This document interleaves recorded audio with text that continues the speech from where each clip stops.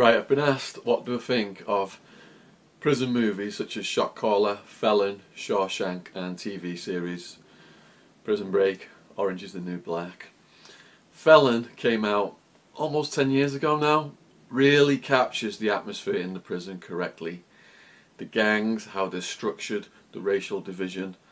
A guy comes in, he's not a con, he's not someone with criminal history, he comes from a family quite normal and then gets thrown into this environment and the pressure's on for him to conform.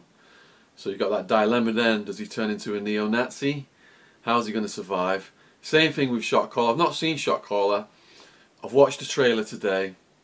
It looks like Felon but way more exciting, more modern. Can't wait to see it. And similar situation, normal guy with a family gets put inside and the gang pressure's on.